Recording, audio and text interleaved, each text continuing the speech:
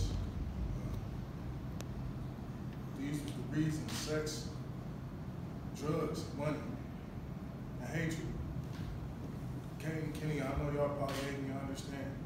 But sex, money, drugs, hatred, you know, and the evil one that was in me, that's that's why it happened. So, so, so stay away from